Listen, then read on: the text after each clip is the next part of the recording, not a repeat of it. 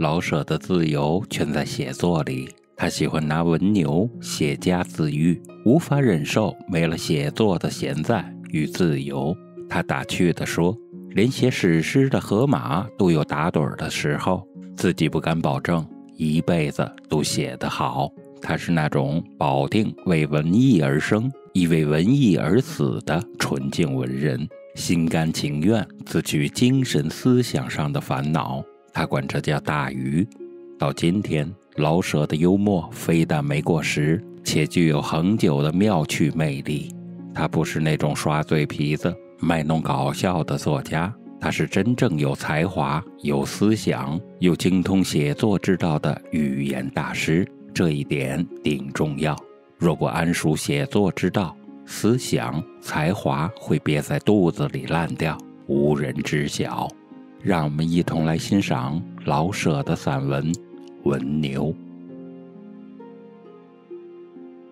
干哪一行的总抱怨哪一行不好。在这个年月，能在银行里大小有个事儿，总该满意了。可是我的在银行做事的朋友们，当和我闲聊起来，没有一个不觉得委屈的。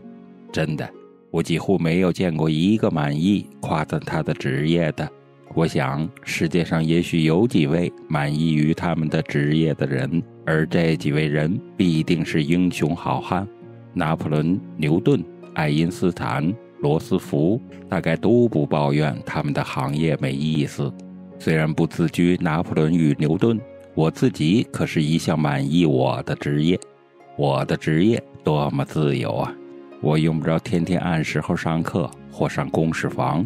我不必等七天才到星期日，只要我愿意，我可连着有一个星期的星期日。我的资本很小，纸墨笔砚而已。我的生活可是按照自己的意思安排，白天睡，晚上醒着也好，昼夜都不睡也可以，一日三餐也好，八餐也好，反正我是在自己的屋里操作，别人也不能敲门进来。禁止我把脚放在桌子上，专凭这一点自由，我就不能不满意我的职业。况且写得好吧歹吧，大致都能卖出去，喝粥不成问题，倒也逍遥自在。虽然因此而把嫉妒我的先生们鼻子气歪，我也没法子带他们办正。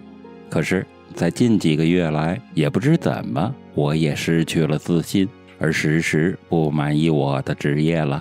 这是凶是吉，且不去管。我只觉得不大是味儿，心里很不好过。我的职业是写，只要能写，就万事亨通。可是近来我写不上来了，问题严重的很。我不晓得生了娃娃而没有奶的母亲怎样痛苦，我可是晓得，我比她更痛苦。没有奶，他可以雇乳娘或买袋乳粉，我没有这些便利。写不出就是写不出，找不到代替品与代替的人。天天能写一点儿，确实能觉得很自由自在。赶上一点儿也写不出来的时节呀，哈哈，你便变成世界上最痛苦的人。你的自由闲在，正是对你的刑罚。你一分钟一分钟无结果的度过，也就每分钟都坐如针毡。你不但失去了工作与报酬。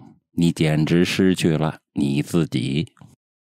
一夏天除了阴雨，我的卧室兼客厅兼饭厅兼浴室兼书房的书房，热得老像一只大火炉。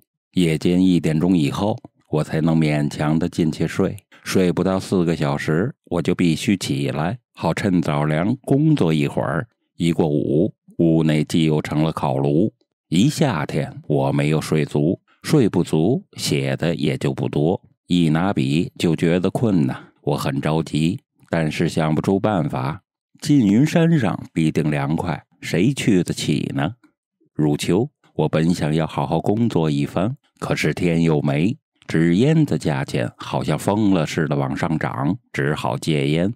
我曾经声明过，先上吊后戒烟，已是至死不戒烟的决心。现在。自己打了嘴巴，最坏的烟卖到一百元一包，我没法不先戒烟，以延缓上吊之期了。人都惜命啊！没有烟，我只会流汗，一个字也写不出。戒烟就是自己跟自己摔跤，我怎能写字呢？半个月没写出一个字。烟瘾烧杀，又打摆子，本来贫血，摆子使血更贫，于是头又昏起来，不留神，猛一抬头或猛一低头，眼前就黑那么一下，老使人有又要停电之感。每天早上总盼着头不大昏，幸而真的比较清爽，我就赶快的高高兴兴的去研墨，期望今天一下子就能写出两三千字来。墨研好了，笔也拿在手中，也不知怎么的，头中轰的一下，生命成了空白，什么也没有了，除了一点轻微的嗡嗡的响声。这一阵好不容易过去了，脑中开始抽着疼。心中烦躁的要狂喊几声，只好把笔放下，文人缴械。一天如此，两天如此，忍心的、耐性的敷衍自己，明天会好些的。第三天还是如此，我开始觉得我完了。放下笔，我不会干别的。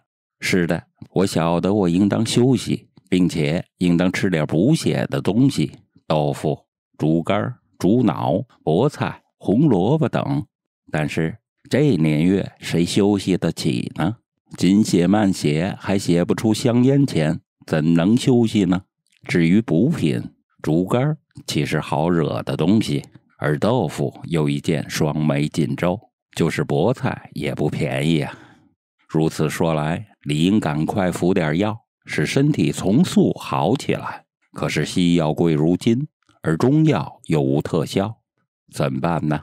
到了这般地步，我不能不后悔当初为什么单单选择这一门职业了。唱虚声的裂了嗓子，唱花旦的毁了面容，大概都会明白我的苦痛。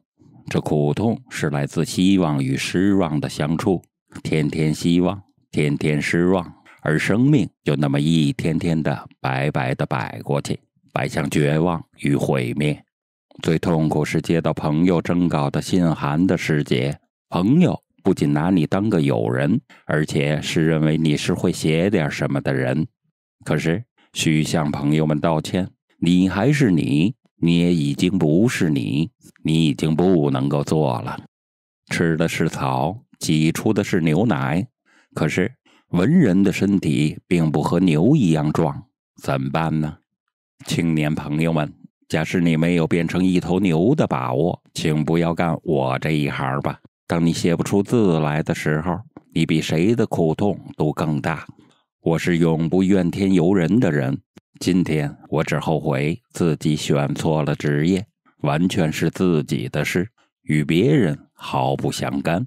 我后悔做了写家的，正如我后悔没做生意或税吏一样。假如我起初就做着囤积居奇与暗中拿钱的事儿，我现在岂不正兴高采烈的自庆前程远大吗？啊，青年朋友们，今时你健壮如牛，也还要细想一想再决定吧。即在此处，牛恐怕是永远没有希望的动物。管你和我一样的不怨天尤人。